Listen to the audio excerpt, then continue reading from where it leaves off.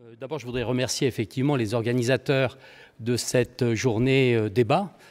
Euh, merci de m'avoir convié à puiser dans ma mémoire défaillante des quelques données sur le site de la Garenne. Pour tout vous dire, cela fait environ une vingtaine d'années que je n'ai plus remis les pieds à la Garenne. Donc j'ai eu miraculeusement, j'ai retrouvé un PowerPoint que j'ai réagrémenté de quelques données récentes relatives aux travaux à effectuer dans le site de la Garenne. Donc le site de la Garenne, c'est le site, si j'ai bien compris, hein, c'est le site ennemi du Rocco-Sorcier. Le Rocco-Sorcier étant orienté vers la Marche, la Garenne est perdue dans ses confins de l'Indre et de la Creuse, orienté géographiquement vers le Rocco-Sorcier, mais certainement avec des perspectives beaucoup moins, euh, beaucoup moins importantes. Donc vous avez ici en photo ce qu'est aujourd'hui, ou plus ou moins aujourd'hui, le site de la Garenne. Euh, nous avons enfermé les préhistoriques derrière ces grandes grilles. Voyez-vous, c'est un site qui est quand même assez bien protégé parce que situé, euh, comme souvent les sites préhistoriques, dans un environnement où il y a beaucoup de passages, etc. Donc il était important de le protéger. Alors voilà où se situe plus précisément la Garenne. La Garenne se situe, les sites de la Garenne, parce que vous allez voir qu'ils sont nombreux, ces sites euh, se situent euh, à la charnière, euh, dans les bords de Creuse, hein, en rive droite de la vallée de la Creuse, au sortir du massif central. Le site, les sites de la Garenne sont situés exactement à la transition entre le massif cristallophilien du, massif, central, hein, les formations cristallophiliennes du massif central, et euh, le bassin parisien. C'est donc, une, euh, une, situation qui est pour le moins euh, à la fois originale et peut-être stratégique. J'ai mis le petit point bleu à gauche de la Garenne, c'est tout simplement Lussac. Lussac-les-Châteaux. Et voyez-vous qu'à l'échelle de la France, Lussac n'est pas si loin de la Garenne, et la Garenne n'est pas si loin de Lussac. J'ai regardé sur Géoportail, 66,73 km à vol d'oiseau. Vol d'oiseau, j'entends bien. Donc c'est finalement un site, un site assez proche. Voilà du point de vue géologique où il se situe, vous voyez euh, le point, euh, ce point, euh, rouge, donc dans les marges vraiment méridionales du bassin parisien. Cette euh, photo vous donne, euh, vue aérienne, euh, piégée aussi sur Géoportail, vous donne la situation des sites de la Garenne pointés en rouge. Et vous voyez d'emblée qu'il n'y a pas qu'un seul site, mais il y a une petite grappe d'abris et de grottes qui ont été fouillées diversement par le passé depuis le 19e siècle. Je ferai un tout petit historique tout à l'heure pour récapituler tout cela.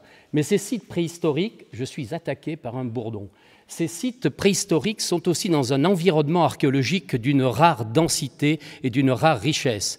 Il ne vous aura pas échappé à la lecture de cette, image, cet édifice qui pour le moins n'est pas préhistorique, et ces édifices ici qui sont un peu moins lisibles de l'espace, mais qui sont évidemment des sites euh, gallo-romains, notamment le théâtre d'Argentomagus ici, et ici un ensemble de temples, fanum, euh, d'une fontaine monumentale.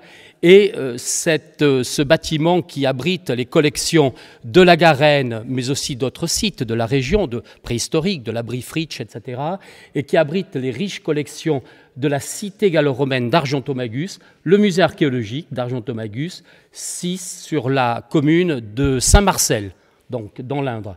Et j'ai eu la chance, je ne sais pas si c'est un privilège, certainement, de diriger ce musée pendant six ans. Il y a fort longtemps, donc j'ai quitté le musée en 2004-2005, avant de rejoindre le muséum. Donc, c'est vous dire que euh, ces souvenirs de la Garenne remontent un tout petit peu euh, en arrière et euh, ça n'a pas été un mince travail que de vraiment réactualiser toutes ces données.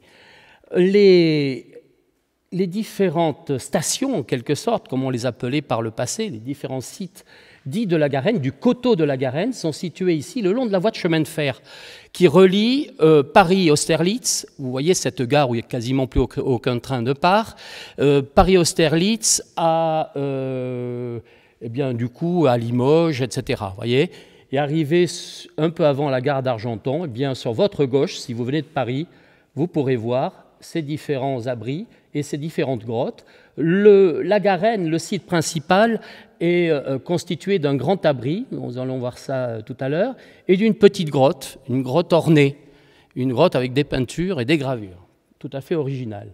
Juste à côté euh, de, de, cet ensemble majeur de la Garenne, il existe une petite cavité, la grotte Chapelle, qui avait été aussi fouillée par le docteur Alain et qui a fourni également des, euh, des, éléments euh, rapportés aux Magdaléniens, à ce Magdalénien de la Garenne tout à fait particulier, qui n'est pas le Magdalénien moyen de type Lussac-Angle, mais qui est le Magdalénien moyen à navette. Et dans la première diapositive, vous avez vu le site, et à droite, vous avez vu un objet bizarre, indisposé verticalement, c'est une navette. Et on verra comment cet objet a été à l'origine de ce faciès. Et puis cette petite grotte ici, la grotte Benoît, du nom de son inventeur, de cette personne un peu curieuse à la fin du XIXe siècle, qui avait découvert cette cavité, une petite grotte couloir, qu'il a entièrement vidangée, et dans laquelle il avait découvert euh, une plaquette de schiste gravée d'un renne magnifique, alors certains euh, ont peut-être en mémoire ce renne, vous le verrez aussi en photo et en relevé, qui a été étudié par l'abbé Breuil au début du XXe siècle, ainsi que quelques parures qui sont euh, conservées au Man. Euh, ce sont à peu près les seules collections de la Garenne, du coteau, qui ne soient pas conservées au musée archéologique d'Argentomagus. Euh, le site de la Garenne est situé aussi euh, géomorphologiquement, si vous voulez, géographiquement, géomorphologiquement, dans un secteur assez remarquable de la vallée de la Creuse. C'est au sortir donc du Massif central, certes, mais le site est situé dans un resserrement, dans un verrou en quelque sorte de la vallée, euh, qui constitue finalement un point assez stratégique pour euh, éventuellement euh, piéger du gibier, chasser des troupeaux de rennes, etc. ce verrou sépare une vallée, une plaine alluviale très large en amont et une plaine alluviale également qui s'élargit en aval. La Garenne est là à la transition, non seulement une transition géologique, mais une transition aussi géomorphologique, topographique de la vallée. Rapidement, euh, voyez, je n'ai pas oublié certains sites de la Gartempe. La, Creuse, c'est une rivière qui prend sa source, comme la Vienne, sur le plateau des Mille Vaches, qui voilà, déploie son lit euh, dans les roches, euh, dans les micachistes, les amphibolites du Massif central, qui arrive dans, le, dans les formations calcaires du bassin parisien et qui se jette dans la Vienne, désespérée de ne pouvoir aller plus loin. Donc elle se jette dans la Vienne, euh, du côté euh, un petit peu plus au nord. Euh, j'ai plus souvenir de la ville ou du, lieu dit, du lieu où se, où se fait la confluence. Peu importe. Mais vous voyez que dans cette vallée de la Creuse, la Garenne ne constitue pas un point, un site préhistorique unique, isolé. C'est un site qui fait partie d'un ensemble d'un ensemble de, stations, d'abris, de, de, sites à l'air libre, de plein air, etc., qui euh, s'échelonnent le, long, euh, le long de cette vallée, dont des sites majeurs euh, qui ont, je pense notamment à Fressigne, ici, au bord du lac de Chambon, Fressigne, qui est un site absolument extraordinaire de plein air, rattaché au solutréen supérieur, un site qui n'a malheureusement pas permis la conservation de l'os hein, du fait de l'acidité des sols, mais où on a euh, euh, euh, un ensemble de lithiques, d'industrie lithique tout à fait, tout à remarquable, de ce solutréen supérieur à Pointe-Zacran qui, qui sont vraiment magnifiques. Et puis la Briefrich, qui est un site aussi remarquable pour, abriter des niveaux du bas de Goulien, hein, qui est une industrie peu postérieure au solutréen et peut-être, pas peut-être, un peu antérieure au magdalénien, tout à fait euh, aussi étonnante, avec une, une répartition euh, géographique dans le territoire français qui est assez qui n'est pas aussi étendue, aussi importante que celle du Magdalénien. Et puis je passe sur les autres sites. Juste des petits éléments historiques. Vous avez ici les principaux sites de cette vallée de la Creuse, vallée moyenne de la Creuse. Et voyez que l'histoire des découvertes à la Garenne, sur ce coteau, est très importante chronologiquement. Euh, les premières découvertes de, faune, de silex taillé, attribuées aux Magdaléniens, on va dire dans un sens générique, ont lieu dès 1850, à l'occasion de la construction de la voie de chemin de fer qui écorne, qui entame une partie du coteau et éventre des cavités qui s'ouvraient un tout petit peu plus près de la rivière. Et ensuite, euh, les découvertes, les fameuses fouilles de euh, Émile Benoît, dans la grotte Benoît, ici, à la fin du XIXe siècle, puis quelques ramassages localisés notamment par un certain monsieur Chapelle, qui a fait fouiller cette petite grotte située à côté du Grand Abri et de la grotte Blanchard, puis une période faste de fouilles et de découvertes, celle du docteur Alain, du docteur Jacques Alain et de ses collaborateurs. Euh, la grotte, le Grand Abri et la grotte Blanchard, ce sont les deux principales unités topomorphologiques de ce site de la Garenne, ces deux sites sont découverts respectivement donc en 1948 et en 1956, durant les fouilles dirigées par le docteur Alain, sur une, euh, trentaine d'années, à partir de la fin de la Seconde Guerre mondiale jusqu'en 1976. Puis, plus rien, plus rien du tout euh, ne se passe, tout simplement parce que le docteur Alain quitte la préhistoire momentanément, puisqu'il continuera d'exercer des responsabilités administratives dans le domaine de l'archéologie préhistorique, en étant euh, le directeur régional euh, des euh, antiquités préhistoriques à l'époque, mais il va se consacrer à d'autres fouilles, notamment les fouilles d'Argentomagus, hein, de la cité antique. Donc il se consacre à partir des années 60, 70, de plus en plus régulièrement aux fouilles antiques. Et vous avez ici une photo, non pas des fouilles antiques, cette fois-ci des fouilles du Grand Abri. Euh, donc le docteur Alain est ici. Euh, là, c'est Jean Descoux, l'un de ses collaborateurs, l'un de ses hommes de main les plus efficaces, l'inventeur précisément, l'un des co-inventeurs tout du moins, de la grotte ornée Blanchard. Quelques petits éléments sur euh, l'archéostratigraphie de ce site, qui est assez complexe parce que, comme toujours dans les abris, euh, on a des, phénomènes euh, de sédimentation assez complexes, de remobilisation des, sédiments, etc. Ce n'était pas tout à fait évident, et pour le docteur Alain et pour ses équipes, de, dresser, si vous voulez, une image, de dresser une, stratigraphie très claire de l'ensemble des niveaux mis au jour. Vous voyez qu'il y a la séquence complète euh, qui a été donc fouillée de 47 à 76 comprend 12 niveaux. 12 niveaux qui sont échelonnés, là vous avez une coupe, depuis quasiment la, surface du Grand Abri, qui était à l'époque complètement euh, occultée par d'immenses dépôts de pente. Hein. il a creusé dans ces dépôts de pente pour révéler la présence de, de couches magdaléniennes et puis surtout de cet abri qui se prolonge un peu. Et puis, au, fur et à mesure de la descente dans ces niveaux, la grotte Blanchard, grotte ornée, a été découverte. Il y a vraisemblablement une continuité stratigraphique entre les niveaux magdaléniens moyens de type à navette hein, et les niveaux euh, magdaléniens moyens plus ou moins contemporains euh, du Grand Abri. Il y a vraiment une continuité euh, qui s'observe.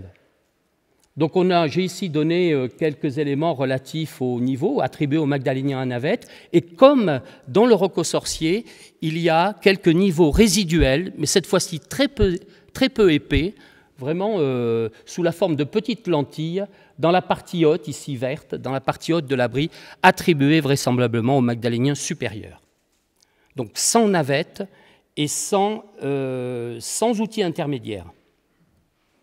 Alors voilà quelques, quelques alors c'est un peu compliqué, mais quelques références sur les datations euh, carbone 14 qui ont été faites sur les différents niveaux, sur de l'os essentiellement. Et elles situent, alors moi j'ai donné les dates en âge calibré avant le présent. Euh, d'autres donnent des dates calibrées avant, euh, avant l'ère actuelle, avant Jésus-Christ d'autres donnent des dates non calibrées BP, BC. Alors souvent on s'y perd un tout petit peu.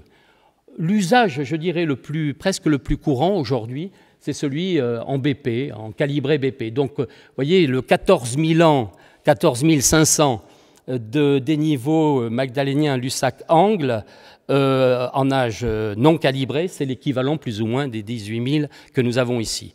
Donc le magdalénien à navette de la Garenne, même s'il n'est pas tourné vers le Rocco sorcier, est un magdalénien plus ou moins contemporain de celui de Lussac-Angle.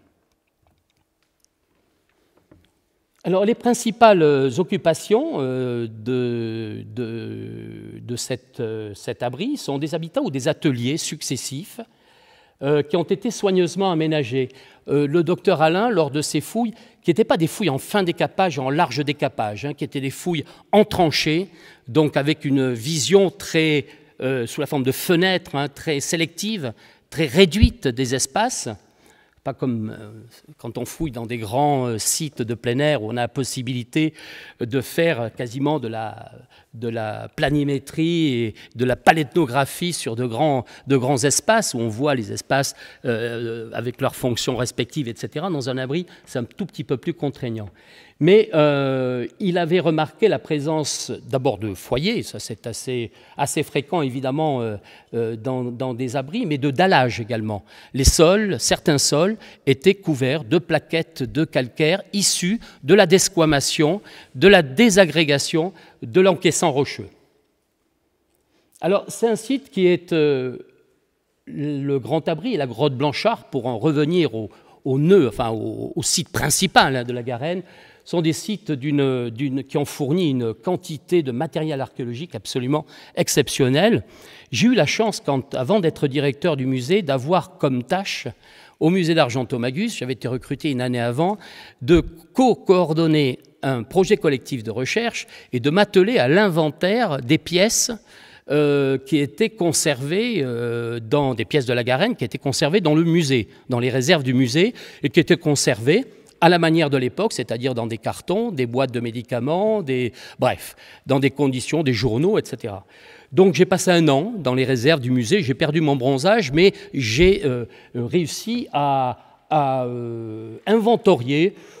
D'aucuns parlent d'une centaine de milliers de pièces, c'est certainement un peu exagéré, mais en tout cas, il y a, euh, le, le, mobilier est très très abondant. Et il est surtout très diversifié euh, du, point de vue, euh, du point de vue des matières premières. Vous voyez, hein, il y a de l'industrie lithique au sol, il y a de la faune, il y a de l'art mobilier et de la parure. Enfin, euh, à la fois très diversifié, mais c'est exactement ce que l'on trouve au Roc aux Sorciers ou, ou à, la, à, la, Marche. c'est un site. Alors, vous avez voilà ces deux objets dont je vous parlais tout à l'heure. Euh, cette plaquette de schiste gravée d'un renne, découverte par Émile Benoît à la fin du XIXe siècle, dans cette petite grotte située à une cinquantaine de mètres hein, du grand abri de la grotte Blanchard, euh, avec le relevé publié par Breuil, et puis cette pendeloque très jolie, avec ses cercles concentriques, festonnés, euh, parfaitement conservés, taillés dans du bois de Rennes, me semble-t-il, de mémoire. Ces pièces sont conservées au MAN, au Musée d'archéologie nationale, mais ont éveillé certains soupçons quant à leur authenticité. Émile Benoît euh, s'était fait connaître à l'époque euh, pour euh, avoir un peu traficoté quelques outils de l'âge du bronze, avoir récupéré des matériaux modernes pour fabriquer des haches à douille, des choses comme ça. Et les, analyses métallographiques avaient révélé la présence de matériaux, de, métaux modernes et de, bon. Donc il a fait quelques faux. Ça lui est arrivé d'en faire quelques-uns. Et donc, du coup, euh, évidemment, euh, l'authenticité des pièces paléolithiques qu'il a découvertes dans cette grotte a été un temps mise en doute. J'ai eu cette pièce en main. J'avoue que euh, ce, renne rentre finalement dans, les variations techniques et stylistiques que l'on connaît pour le magdalénien. Ça n'a rien de fantastique. il n'a rien de, particulier, si vous voulez, qui éveillerait les soupçons. Euh, pas plus non plus dans l'observation des fonds de traits qui auraient montré éventuellement l'utilisation d'outils métalliques, de choses comme ça. Rien n'est possible à l'heure actuelle. Ce sont des vieilles collections qui ont aussi vécu la taphonomie que vivent les collections dans les, euh, aléas taphonomiques, dans les tiroirs des musées, euh, dans les vieilles collections poussiéreuses, etc. En tout cas, le site de la Garenne à Saint-Marcel sert de référence actuelle à la définition de ce faciès chronoculturel qu'on appelle le Magdalénien à navette. J'ai donné ici deux publications majeures. La publication Princeps, en quelque sorte, hein, la grande monographie, le Magdalénien à navette, publié par Jacques Alain et collaborateurs en 1985 dans Gallia Préhistoire. C'est l'article de référence, si vous voulez, qui couvre l'ensemble des, euh, données connues à l'époque sur le Magdalénien à navette, et puis euh, la publication du congrès, enfin du colloque euh, du projet collectif de recherche préhistoire de la vallée moyenne de la Creuse, édité dans un bulletin un peu secret, un peu confidentiel, mais euh, ça arrive. Hein, c'est pas un bulletin, euh, c'est pas une revue de rang A euh, avec un impact factor très élevé, mais c'est le bulletin de la Société des Amis du Musée d'Argentomagus. Et ça reste une publication collégiale très importante puisque c'est la révision, si vous voulez, de toutes ces séries qui a été faite entre 1999 et 2004. Alors, en quelques chiffres, le mobilier de la Garenne, D'abord, tout niveau confondu, euh, l'équipement lithique, voyez, représente plusieurs milliers de pièces. C'est un magdalénien classique. Typologiquement, les burins sont plus nombreux que les grattoirs. Voyez, vous avez, je ne vais pas vous faire lecture, hein, mais vous avez là une grande diversité à la fois euh, euh, d'outillage ou d'armement, ou d'éléments d'armement, avec ce qui est intéressant, surtout, une variété pétrographique importante. les silex sont rarement de provenance locale. Thierry Aubry, euh, qui est un préhistorien bien, connu de, certains d'entre nous, Thierry a travaillé, a fait sa thèse en particulier, et a travaillé sur l'origine des matières premières siliceuses de la Garenne et a montré que euh, la plupart des approvisionnements provenaient à la fois de la vallée du Cher, de la vallée de l'Indre et euh, de la région du Grand Pressigny. Vous aurez compris pourquoi, la région du Grand Pressigny et son magnifique silex a été largement importé.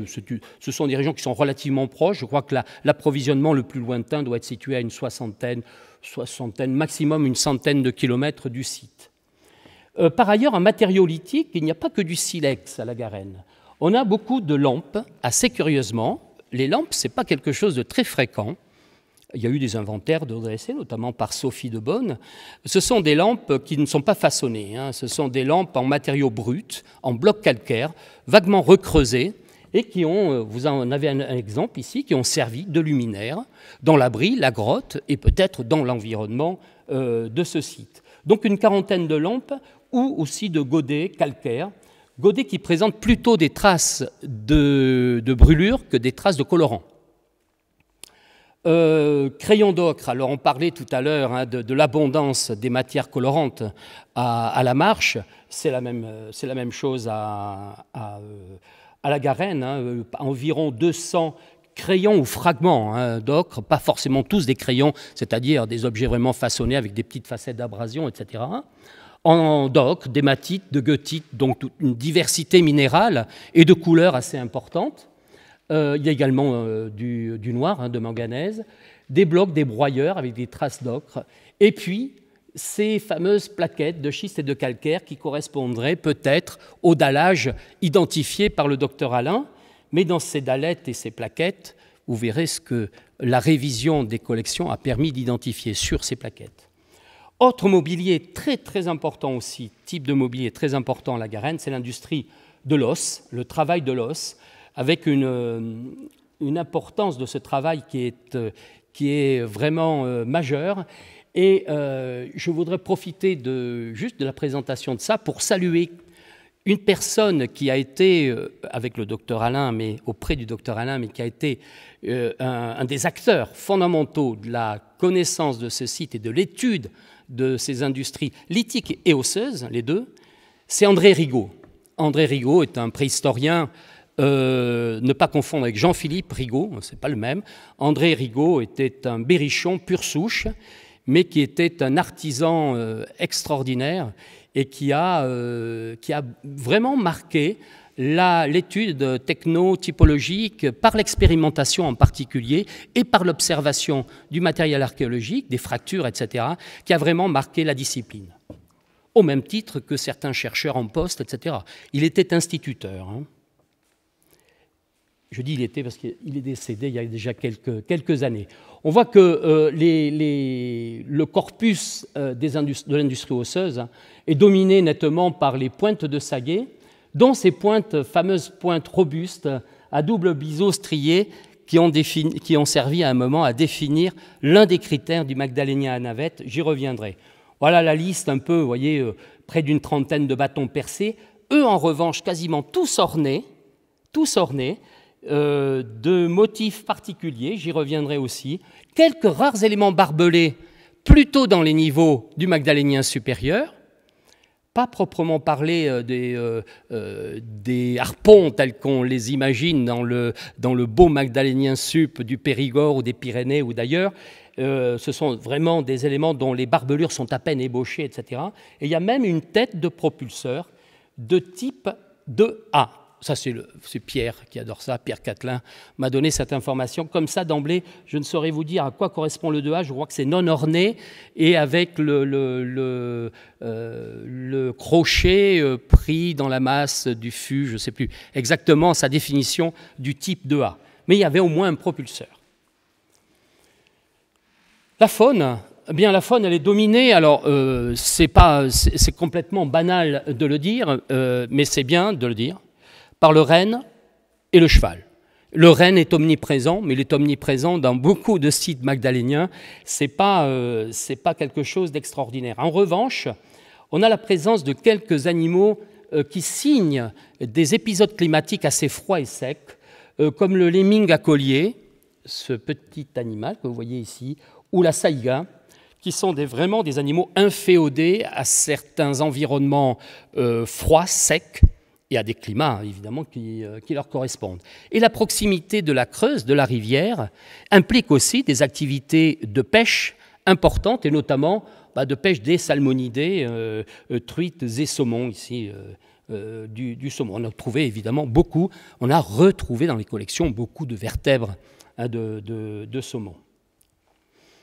Alors, revenons-en quand même à l'objet euh, euh, euh, qui fait le faciès. C'est la navette. Alors pourquoi ça s'appelle navette? Tout simplement par, par comparaison morphologique avec les navettes des tisserands, ni plus ni moins. Cette navette, c'est un, vous voyez, vous l'avez ici en photo et en dessin, c'est un, objet qui est fabriqué en général dans une masse centrale, dans le fût d'un bois de renne, et qui présente à une extrémité ou à ses deux extrémités des fentes aménagées qui dégagent deux languettes euh, et qui peut présenter ou pas des décors. Euh, ces languettes existent parfois euh, à l'état fragmentaire, c'est-à-dire on va retrouver, on peut ne pas retrouver la, navette complète, c'est même très rare de retrouver des navettes complètes. On retrouve des morceaux de navettes. Et quel type de morceaux? On retrouve souvent des languettes, c'est-à-dire ces petites parties de la navette, voyez, ces pinces en quelque sorte, les éléments de la pince. Et en observant ces languettes, on s'est aperçu qu'elles qu'elle, souvent, elle portait du colorant, euh, de l'ocre, elles étaient très ocrées, vraisemblablement des résidus de colle, mastic, de choses comme ça. Par ailleurs, ces languettes présentaient des fractures, souvent au même endroit, des fractures en dents de scie. Dents de scie, vous savez, quand vous cassez un, objet, euh, un objet euh, sec, etc., vous allez obtenir une fracturation qui va donner un, un, profil, une morphologie comme ça en dents.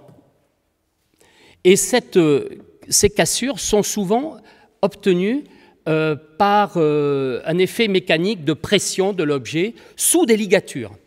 Donc on a supposé, André Rigaud a réalisé toute une série d'expérimentations pour montrer et prouver cela à partir de l'observation du matériel archéo et de ses propres manips, a montré que vraisemblablement des silex, et notamment des grattoirs façonnés sur des lames ou des éclats relativement minces, devaient être insérés dans ces pinces, de part et d'autre, ou d'un seul côté quand il s'agissait d'une languette, d'une navette avec une, seule, une, seule, pince.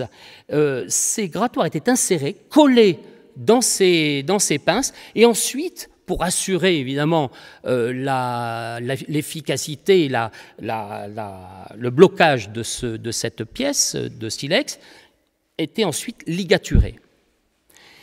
Et André Rigaud a non seulement observé le matériel osseux, mais observé aussi les silex, et notamment ces fameux grattoirs euh, sur l'âme mince. Il a observé les cassures de ces grattoirs. Et beaucoup de ces grattoirs, euh, avec un magnifique petit front bien aménagé, étaient fracturés, eux aussi, autour de ce qui semblait être une rétention, c'est-à-dire une ligature. Donc la navette, selon André Rigaud, et selon la plupart des chercheurs actuels, dans l'état actuel des observations, des analyses du matériel et de l'expérimentation, sont des manches, tout simplement porte-outils, dont le travail devait s'exercer, pour justifier ce type de fracturation, devait s'exercer sur des matériaux plus ou moins tendres, peut-être des peaux, mais vraisemblablement aussi peut-être du bois ou des matériaux lithiques assez tendres, sous cette forme-là, soit en poussant, soit en tirant, soit en exerçant des tractions pour creuser des matériaux euh, ligneux, des choses comme ça. Et vous avez ici justement la démonstration hein, par, euh, par, par, Jacques Alain et André Rigaud des modes, du mode d'utilisation de ce type d'objet que vous avez ici en, dessin et ici en photo à la Garenne. vous voyez qu'il porte parfois des décors, rarement de riches, décors, mais des décors très intéressants sur lesquels je vais revenir. Mais ces 90 navettes à la Garenne constituent pas l'essentiel, qu'on ne constitue pas l'unique corpus de ces, dans le monde de, ces, de cet objet. Euh, cet objet, on le retrouve eh bien, réparti en Europe, depuis la Gironde, ici, au roc de Markhams, jusqu'à l'Oder, en, euh, en, Pologne, dans la grotte de Machika. C'est un objet dont la distribution géographique est très étalée spatialement, mais quand même relativement, euh, c'est une distribution un tout petit peu, euh, c'est un peu essaimé, mais pas de manière très dense. On voit que le site principal, c'est la Garenne qui est là. Il y a quatre sites en France, en dehors de la Garenne, le Chafaud, le Placard, Logerie Basse, euh, Logerie Haute, il y en aurait une aussi, mais on, ne l'a jamais retrouvée. Roc de Marcams, Arlay dans le Jura, Étrembière, Étrembière-Verrier, hein, c'est euh, un site qui est à la frontière entre la France et la, Suisse, et puis cette grotte de Machica, totalement perdue dans l'Oder. C'est donc euh, une extension géographique importante, sur quasiment 2000 km, que cet objet a été, a été retrouvé, mais tout de même avec ce phénomène de concentration euh, et de forte densité autour du site de la Garenne. Alors pour définir justement ce Magdalénien à navette, la présence seule de la navette ne suffisait pas. Il fallait essayer de rassembler euh, des critères euh, qui soient déterminants, comme, comme Geneviève a pu le faire pour le roc aux sorciers, en dehors de la navette, euh, l'un des critères identitaires serait la présence également de saguets épaisses, robustes, à section souvent quadrangulaire, rectangulaire, à double biseau. Là, on n'a plus euh, ce grand biseau euh, simple, envahissant, etc. On a la robustesse, mais c'est la robustesse de la section. Et ce sont souvent, vous voyez ici, double biseau strié la plupart du temps. Donc on a soit des biseaux tout seuls, isolés, euh, comme ici, euh, soit, euh, soit des, des biseaux, mais il n'y a plus la pointe. Et vous avez remarqué ce qui se passe en haut, c'est que la pointe a disparu, mais l'objet a été réutilisé. En fait, les préhistoriques savaient réhabiliter un certain, nombre, un certain nombre de pièces et les saguets faisaient partie de ces pièces à réutiliser quand elles étaient fracturées, quand les pointes étaient fracturées. Soit elles étaient réappointées, auquel cas elles perdaient de leur longueur et elles pouvaient peut-être perdre aussi, d'une certaine manière, peut-être de leur efficacité. Mais euh, le biseau euh, devenait, finalement à un moment donné non plus l'élément passif en quelque sorte de l'outil, à contrario de la pointe, mais devenait l'élément actif, c'est-à-dire qu'on allait taper à cet endroit-là et se servir de ce biseau comme coin à fendre.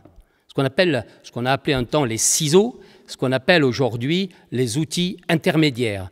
Et c'est un outillage qui est très présent dans les corpus d'industrie osseuse magdalénienne, etc., que l'on retrouve fréquemment.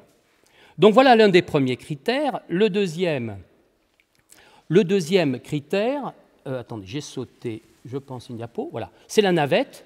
Donc, euh, euh, on l'a vu, je ne vais pas revenir dessus. Le troisième sont des concepts artistiques originaux. Et Oscar, tout à l'heure, parlait justement, opposer tout à fait légitimement, opposer la représentation humaine telle que pratiquée ou telle que connue dans le Magdalénien de Lussac-Angle et euh, donc relativement figurative. Parfois, euh, parfois, on a affaire quasiment à des portraits. Tu as parlé, hein, tu as à un moment prononcé ce terme. Effectivement, on a l'impression d'avoir des individus, non pas une humanité, mais des, individualités en quelque sorte représentées.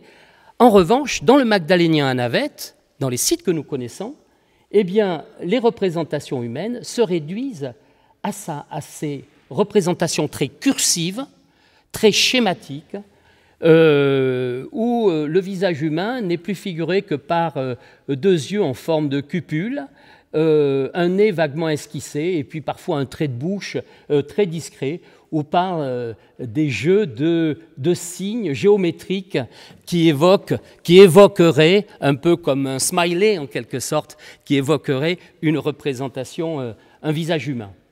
seule exception, et encore elle reste très euh, très schématique aussi à sa manière. Seule exception, c'est cette petite pièce qui n'est pas un bâton percé, comme on l'a souvent lu dans la littérature, qui est une languette de bois de renne perforée, tout simplement. On peut pas. Euh, c'est vraiment très très fin. C'est une toute petite languette, un éclat en quelque sorte de bois de renne, avec ce, visage humain. Euh, très, très singulier, parfaitement délinéé, creusé. Hein. vous voyez cette gouttière qui entoure le visage, avec ce trait de bouche, ces narines, euh, ces narines très marquées et deux cupules pour les yeux. Cet animal, cet humain, a été baptisé Baptiste le Baptiste, vous trouverez parfois dans la littérature euh, ce terme pour désigner cette petite pièce euh, perforée. Donc voilà le deuxième de ces, euh, troisième de ces critères de définition du Magdalénien à navette, ces concepts artistiques originaux. Donc d'abord des représentations humaines schématiques, segmentaires. Ici également au roc de Markhams, vous voyez ces têtes humaines au bout de bâtons percés très curieuse, je reviendrai un tout petit peu dessus après, ces petits personnages aussi très schématiques, cette fois-ci on a affaire non plus à des visages, mais peut-être à des corps, dirait une file de danseuses. Euh, c'est très géométrique et puis à la fois euh, euh, c'est très original. Hein. On ne connaît qu'assez peu de, représentations de ce type. C'est la même pièce. Hein. J'ai mis le moulage parce qu'il facilite un peu la lecture. Et c'est une pendeloque, ni plus ni moins. Vous voyez ici la perforation qui a été fracturée et une grande partie de l'os a malheureusement, a malheureusement disparu. Également une pendeloque festonnée c'est pour ça que ça me fait dire que finalement, la petite pendeloque festonnée d'Émile Benoît pourrait bien être authentique, hein, pourrait bien être authentique. Donc c'est peut-être un, petit, élément comme ça qui, ferait pencher un peu la balance vers, euh, vers l'authenticité. Autre type de représentation aussi assez euh, particulière à ce Magdalénien à navette, ce sont les représentations phalliques. Et ces représentations phalliques, eh bien, elles sont évidemment disposées sur des objets qui ont déjà une forme phallique, les bâtons perforés, les bâtons percés. Et beaucoup de bâtons percés de la Garenne, je disais qu'ils étaient décorés, sont décorés de manière forcément assez succincte, mais de ces euh, extrémités, extrémités de sexe, de glands, etc., parfaitement, enfin, clairement, si vous voulez, sculptées, détachées de l'âme, du, bloc, de, la perche, du, bois de Rennes. D'autres motifs, après on rentre dans le répertoire plus géométrique cette fois-ci. Euh, autre élément qui serait peut-être discriminant, encore qu'on en trouve finalement partout, euh, ce sont ces motifs en parenthèse opposée, en ovale, en chevron, qui couvrent pas mal de fragments d'os, de fragments de bois de renne, comme ici cette pendeloque également fracturée, etc., ou ces signes un tout petit peu étonnants en fuseau. c'est un, voilà, un des éléments, on va dire, peut-être un élément diagnostique, mais qui seul isolé ne suffirait, ne suffirait pas. Autre élément euh, diagnostique aussi de ce magdalénien à navette, c'est à contrario euh, probablement de la, du magdalénien de Lussac-Angle, c'est l'extrême pauvreté de l'art animalier naturaliste. Il y a très très peu d'animaux euh, clairement, clairement représentés sur les supports lithiques ou osseux dans le magdalénien à navette. Tout, tout site confondu, et notamment évidemment à la Garenne. Les rares exemples que nous connaissons sont ceux-ci, cette petite ronde bosse qui évoque une tête animale, c'est une sorte de petit bouton en, bois de renne, ce bois de renne gravé ici d'un bison et de l'autre côté de deux biches qui suivent, vraisemblablement des biches. Vous voyez un détail ici du bison, on voit un petit peu l'arrière-train. Je n'ai guère pu faire de meilleures photos que celle-là. Et puis là, j'ai mis, et j'y reviendrai là tout rapidement, euh, cette tête animale que vous devinez, qui est, une, la rare représentation figurative pariétale de la grotte Blanchard hein, à la Garenne, de la grotte ornée qui est située au pied, euh, au pied du site. Voilà pour, ces éléments. Euh, et enfin, le quatrième, ça serait les décors. docteur Alain parlait souvent de ces décors en cupule qui sont assez fréquents à la Garenne en cupule sur des alignements comme ça, sur des bâtons percés, ou en cupule sur ces éléments de ciseaux, hein, d'outils intermédiaires pour simuler, euh, pour euh, représenter peut-être des yeux ou des choses comme ça. Alors tous ces critères sont effectivement euh, à, l'observation du fait la réétude, si vous voulez, des grandes séries de la Garenne, qui a été entreprise dans le PCR à la fin des années 90, début des années 2000. Euh, ces, critères de définition ont été un peu nuancés. Pas forcément critiqués, mais nuancés. Euh, en particulier par la découverte euh, de d'une vingtaine, trentaine de plaquettes portant des traces gravées, portant des incisions. Alors ce sont des plaquettes de calcaire, des plaquettes de schiste, le schiste provenant des alluvions de la Creuse, hein, transportées depuis l'amont évidemment, euh, ces plaquettes euh, ne sont pas euh, de même nature que l'art mobilier sur support lithique de la marche, bien entendu. On n'a pas, les mêmes corpus, le nombre d'objets n'est pas, du tout équivalent. En revanche, il existe bel et bien un art mobilier sur support lithique, ce qui n'avait pas été remarqué par le docteur Alain jusqu'à présent, la, à la Garenne. Et en voici quelques exemples. Euh, je crois que Nicolas avait eu à étudier cette, euh, notamment cette plaquette, mais avait fait aussi un magnifique euh, scan et une photogrammétrie, me semble-t-il, où avait passé cette plaquette. Je ne te vois pas. il est là, Nicolas? Oui. Tu l'avais passé à la microtopo ou pas?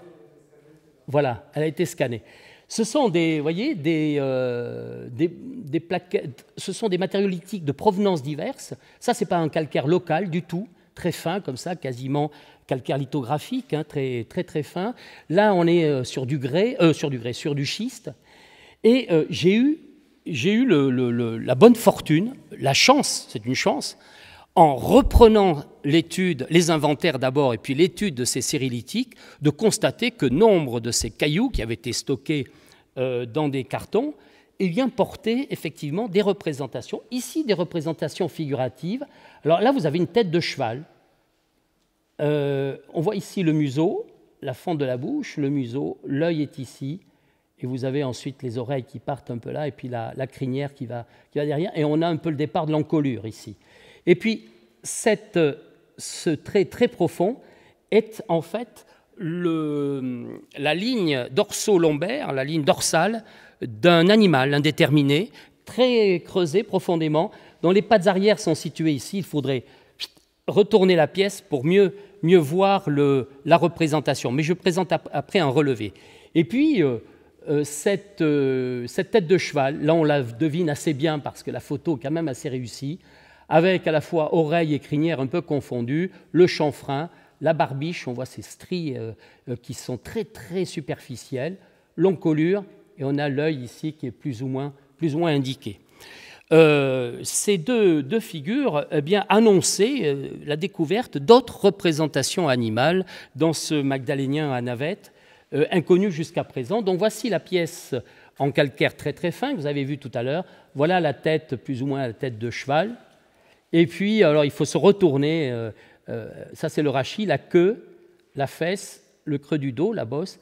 Là, vous avez la patte arrière, la ligne de vente, vous avez une patte avant ici. Ça reste très schématique, ça reste très cursif. Ce n'est pas, euh, pas dans le détail, ce n'est pas dans la souplesse du trait que se situe ici le naturalisme, entre guillemets, si tant est qu'on puisse parler de naturalisme. Et puis, évidemment, des, euh, ensembles gravés euh, relativement élaborés, peut-être des signes, en tout cas dans lesquels je n'ai pas fait émerger de représentation figurative particulière. Voilà la fameuse tête de cheval, l'encolure de cheval. Voilà, sur cette pièce en schiste. Également sur un gros bloc, alors euh, là aussi vous avez une séquence de lignes dorsales avec des bosses très marquées.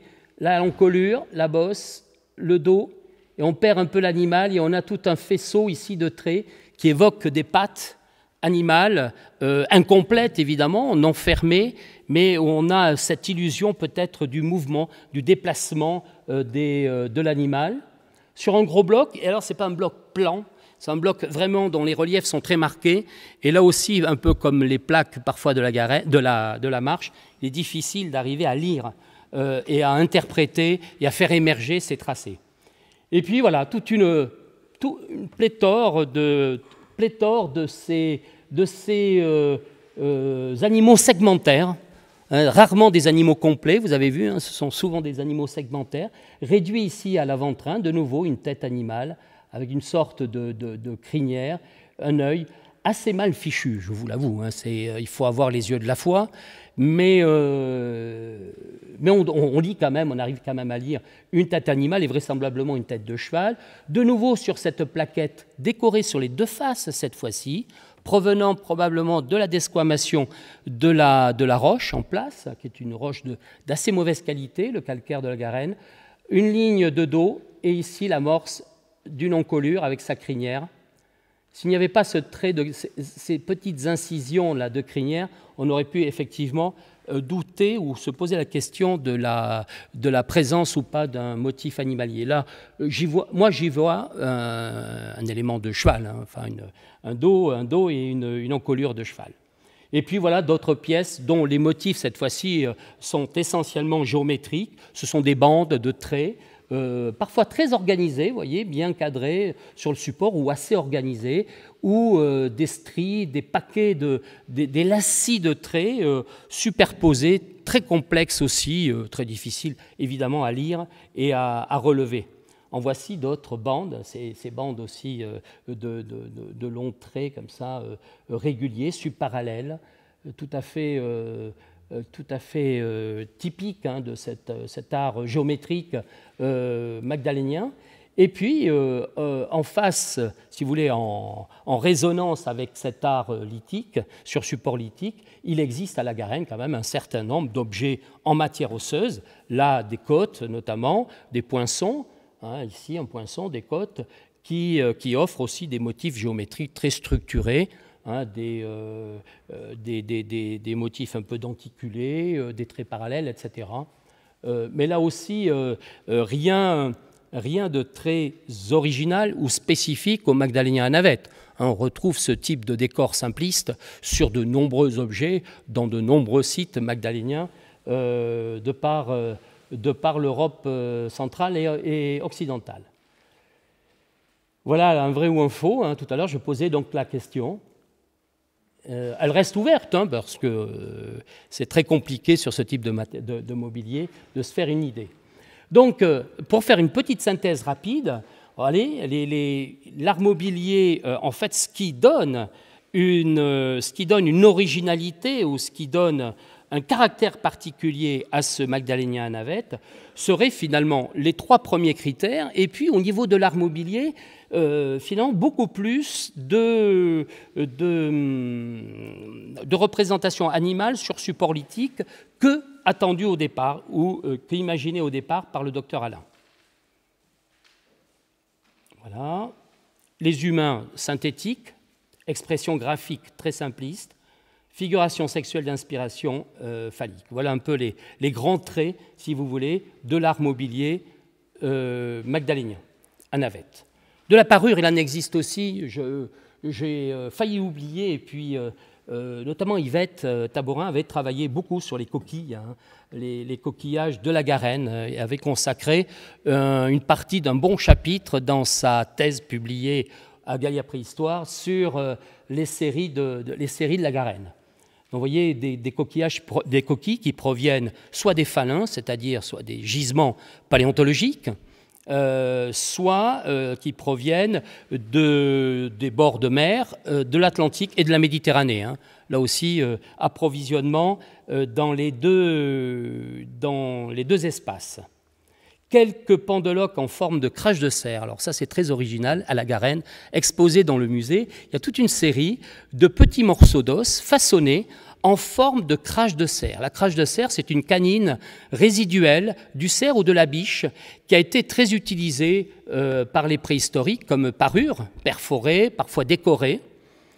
Euh, et c'est un objet qui a une forme particulière, en forme de goutte, etc. Et, euh, et, cet objet a vraiment marqué vraisemblablement l'esprit hein, des, préhistoriques, à tel point qu'à la Garenne, il n'y avait pas de cerf, mais on a fabriqué des facsimilés de crash de cerf en os, et euh, qui sont assez remarquables de, réalisme. Hein. Certains sont vraiment façonnés, polis jusqu'au moindre détail pour ressembler à une crache de cerf. Donc là, il y en a une quarantaine, ce qui n'est pas rien des éléments biperforés aussi qui sont assez fréquents. Et puis on a quelques contours découpés que j'avais retrouvés aussi, euh, qui ne portent pas de, décor, mais avec des amorces de perforation, des choses comme ça, sur les fameux styloïoïdes d'os de, cheval vraisemblablement.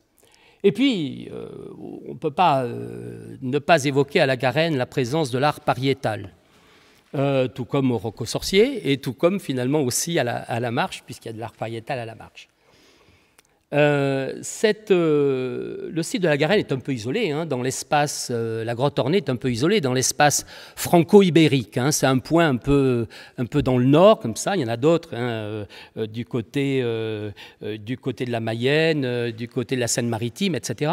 Mais dans l'Indre, c'est la seule grotte ornée qui soit, qui soit connue. C'est la grotte Blanchard, c'est cette grotte qui est située sous le Grand Abri découverte donc en 50, euh, je ne sais plus, 50, j'ai donné la date tout à l'heure, mais 58 je crois. Eh bien cette grotte est tout à fait, euh, tout à fait originale aussi. C'est une toute petite cavité qui est, creusée aux dépens euh, de calcaire relativement, relativement lisse. Ce sont des calcaires du bâtonien, des calcaires qui, sont très différents des calcaires du Grand Abri au-dessus ça fait partie d'un niveau euh, géologique différent. Les calcaires, qui sont situés au-dessus et qui sont plutôt des brèches karstiques que de véritables bons, bons calcaires. C'est de la roche qui se désagrège, etc., qui est mal cimentée.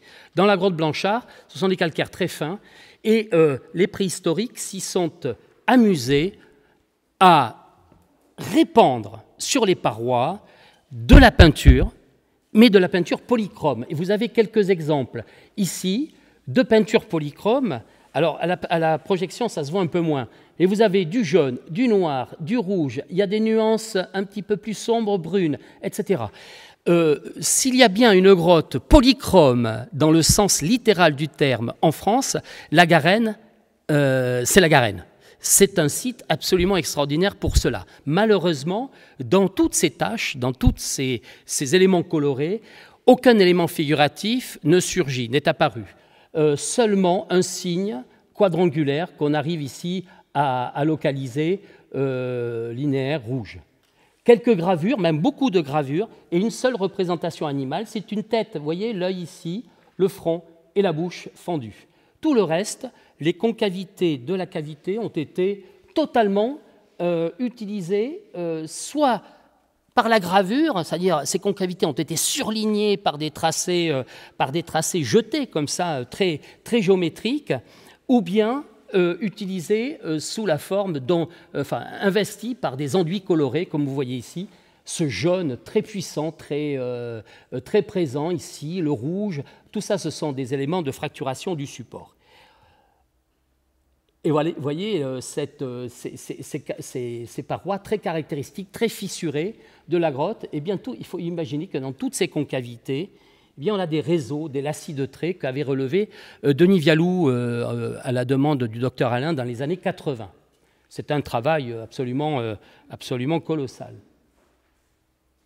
Et puis enfin, pour terminer, la grotte de Blanchard est une grotte aussi d'une profonde originalité pour abriter, pour receller dans ses fissures des objets plantés, fichés, des, objets, alors des morceaux d'os, beaucoup de pointes de saguet. Et vous avez ici une photo en infrarouge, ou, oui, ou ultraviolet, je ne sais plus, euh, ultraviolet plutôt. Et là, vous avez la présence de tous les éléments organiques. Et vous voyez, dans toutes les fissures, là, là, là, là, là, ce sont des objets fichés, des morceaux d'os plantés comme ça.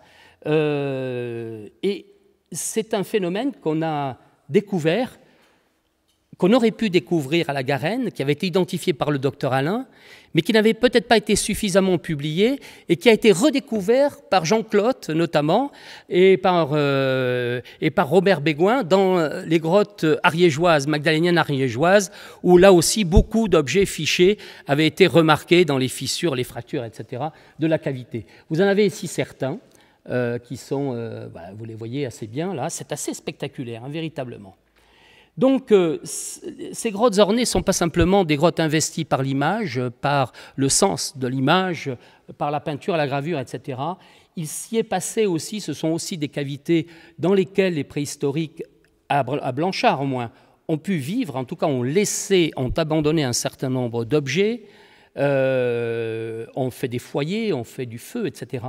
Mais c'est aussi une cavité dans laquelle ils ont, fait euh, ce type de... Euh, ils ont déposé ces objets de manière euh, tout à fait singulière en les insérant comme ça dans le support, dans les fissures du calcaire, de manière très, très mystérieuse, très curieuse. On voit derrière cela, évidemment, hein, des gestes très forts hein, du point de vue de la symbolique, etc. Mais voilà, donc euh, euh, vous voyez tout ce qu'on peut tirer de, euh, ce petit papillonnage dans les collections, sur les parois de la grotte Blanchard, dans l'environnement immédiat de la cavité, pour essayer de, mieux définir ou de mieux identifier ou d'apporter des éléments discriminants ou des éléments originaux pour donner un peu de, un, peu de singularité à ce magdalénien dit, dit à navette. Voilà. Ben, je vous remercie de votre attention et je crois que j'ai passé une heure, très exactement. Merci.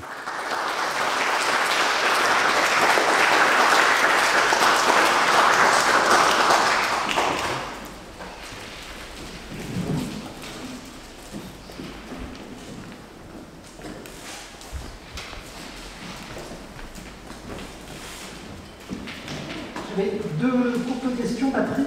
D'abord, si cet te fait penser à autre chose, à part les, objets fichés, hein, euh, est-ce que tu as des, parallèles à évoquer euh, Et puis d'autre part, l'œuvre possible de Faussaire avec le, Rennes. Euh, est-ce que tu crois vraiment que c'est un faux? Moi, j'étais frappé par les pattes antérieures de l'animation séquentielle. Est-ce qu'un faussaire à cette époque-là est capable d'une telle intimité avec euh, les particularités de, l'art paléolithique. Alors, pour la première question, effectivement, euh, euh, du corpus que je connais un tout petit peu des grottes ornées, la grotte Blanchard dégage une originalité radicale, c'est-à-dire l'absence quasi totale d'art figuratif dans le, dans, sur les parois, excepté cette petite figure animale gravée, et puis la présence exceptionnelle de, de cette polychromie qui n'existe finalement quasiment nulle part ailleurs. Même dans les grandes grottes bien connues comme Fond de Gomme ou allons en Espagne, Altamira, etc., où l'on parle, ou quand on fait des visites, on explique que les bisons sont des bisons polychromes, etc., la polychromie est souvent, est souvent due à la couleur naturelle du support. Hein, c'est le support qui apporte une dimension colorée supplémentaire aux deux couleurs fondamentales qu'on peut avoir, c'est-à-dire le rouge et ses nuances et le noir. Ici, euh, dans, euh, dans la Garenne, c'est vraiment, une, explosion, une explosion de couleurs, mais de badigeonnage. Et là, on a aussi l'impression, finalement, d'une gestuelle très particulière dans cette cavité, très étroite aussi, difficile hein, d'accès. C'est une grotte qui fait tout, au plus une dizaine de mètres de profondeur et 2 à 3 mètres de large. On se cogne à peu près sur toutes les, tous les rebords rocheux, etc. Donc est-ce que c'est pas, euh, euh, est-ce qu'on n'a pas affaire justement là à, des, des, pratiques, je dirais, de mise en couleur des supports euh, qui seraient peut-être un peu du même ordre que celles que, celles que l'on rencontre sur les plaquettes de la marche, où on met en couleur le support pour que la gravure puisse, puisse émerger plus facilement, etc. Donc donc, euh, pour l'instant, moi, je ne connais pas d'autres exemples de ce type, avec cette indigence figurative, et puis avec ce, double jeu du gravé dans des registres inférieurs et du peint avec un peu de gravure dans les registres supérieurs. Il y a aussi une grande euh, hiérarchisation, si tu veux, des techniques dans la cavité. Euh, c'est un exemple unique, avec en plus un sol qui malheureusement aujourd'hui est dégradé, mais qui était couvert à l'origine quand, la grotte a été découverte, qui était nappé de bois de renne, euh, de, silex taillé, etc. il y avait vraiment des restes, de, des restes de, euh, à la fois de repas des préhistoriques, d'activités artisanales, etc., in situ. Donc une grotte pour cela tout à fait exceptionnelle. Quant à la, quant à la plaquette de Benoît, euh, effectivement, je suis d'accord avec toi, les éléments du style, ces éléments figuratifs, cette animation, etc., euh, fait effectivement plutôt pencher la balance vers l'authenticité euh, paléolithique, euh, sachant que c'est un objet qui a été trouvé à la fin du 19e. Mais à la fin du 19e, on avait un corpus existait déjà, si tu veux, d'inspiration. Euh, il y avait même quelques publications, L'Arte Christi, il y avait Édouard Piette avait déjà publié pas mal de choses, etc. Donc on n'était pas en méconnaissance des corpus figuratifs possibles. Mais c'est vrai que figurer, figurer un renne ça n'a rien d'exceptionnel alors que ça reste un animal relativement rare dans l'iconographie, mais on a exagéré sa rareté en fait, il est un peu plus fréquent qu'on ne l'imagine.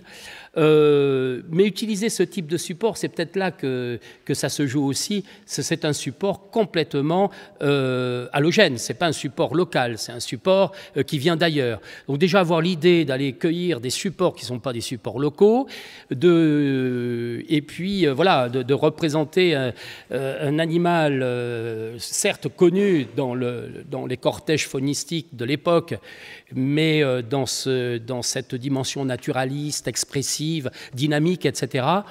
Euh, moi, ça me fait plutôt pencher pour un authentique, effectivement. D'autant que c'est lié à d'autres objets. Hein, en bois de cervidé, qui, comme cette pendeloque avec les cercles concentriques, qui n'est pas sans rappeler quelques éléments que le docteur Alain a découvert, cette fois-ci dans le Grand Abri ou dans la Grotte Blanchard, mais qui, ont les mêmes types de festonnage, les mêmes types de, préparation du support, etc. Mais ça vaudrait le coup d'investir peut-être dans des observations euh, plus fines sur les objets d'Human et notamment la pendeloque. Le schiste, c'est plus compliqué encore qu'on peut faire peut-être de la microtopo, essayer de voir s'il n'y a pas dans le fond des traits des résidus, euh, des résidus métalliques ou que sais-je encore. Ça pourrait être tenté éventuellement. Euh, pour le, pour les, le corpus osseux, ça vaudrait, euh, ça vaudrait la peine aussi de regarder un petit peu plus dans le détail si on a vraiment affaire à du bois de renne ou si c'est éventuellement du bois de serre, quel type d'os ça peut être, etc. etc. si c'est de l'os, du bois ou des choses de ce type-là. Sachant qu'à la Garenne, on a quasiment pas du tout de bois de serre. Hein. C'est essentiellement, parmi les cervidés, c'est essentiellement du renne. Donc on peut avoir comme ça des, des, faisceaux, si vous voulez, de, de, euh, de réflexion qu'on pourrait mettre en œuvre sur les objets d'humain pour certifier l'authenticité. Mais moi, je suis à peu près convaincu que c'est bon. Le seul problème, c'est qu'il avait fait des faux par ailleurs. Donc, euh, c'est toujours, euh, voilà, l'histoire, il trimballe quelques casseroles, comme on dit.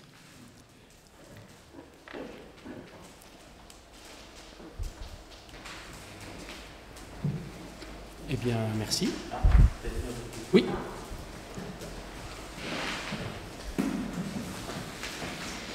Bonjour Patrick. Euh, si vous avez été choqué par l'aspect de la garenne, c'est parce que la grotte est régulièrement vandalisée, environ trois fois par an. Euh, c'est vous qui me dites qu'elle est vandalisée? Elle est vandalisée, les barreaux métalliques sont écartés et il y a des individus qui pénètrent dedans. Donc, euh, Effectivement. Ça justifie l'aspect rébarbatif du site. Oui, alors, je plaisantais quand je disais qu'on avait enfermé les préhistoriques derrière, derrière des piquets et des barrières. Euh, il, est, vrai que le site est fréquenté. Il y a un chemin qui longe le coteau, qui longe la voie de chemin de fer. Et euh, du, temps où j'étais, à l'époque où j'étais à la direction du musée, j'étais régulièrement alerté par des voisins d'intrusion dans le. Alors, pas dans la grotte ornée, parce que la grotte ornée, elle est fermée. Elle est fermée vraiment par une dalle métallique. Il y a un puits en béton, etc. Ça a été très anthropisé, hein, le, lieu. Hein. Euh, la grotte ornée, à ma connaissance, n'a jamais été euh, vandalisée, en tout cas, ça c'est sûr. Euh, en revanche, il y a des grattages, il y a de la farfouille, il y a de la fouille clandestine localisée dans le Grand Abri.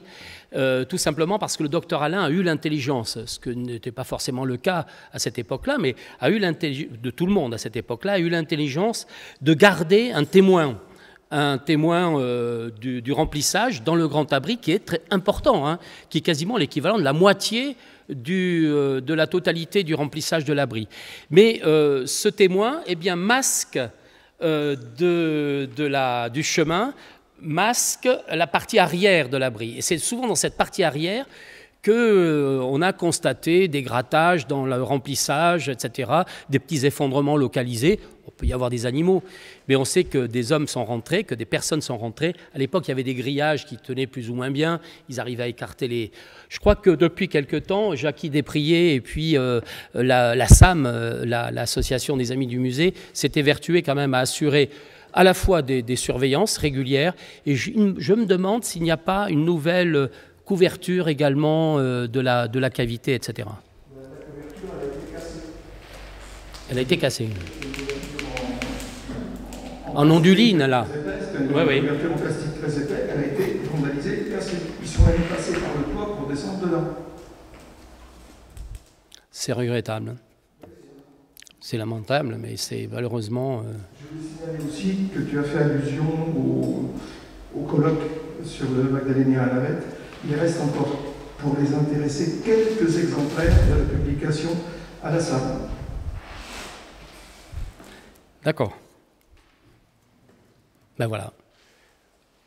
ceux que ça intéresse, n'hésitez pas. C'est c'est effectivement une, une, revue confidentielle, mais c'était une publication vraiment importante. Merci.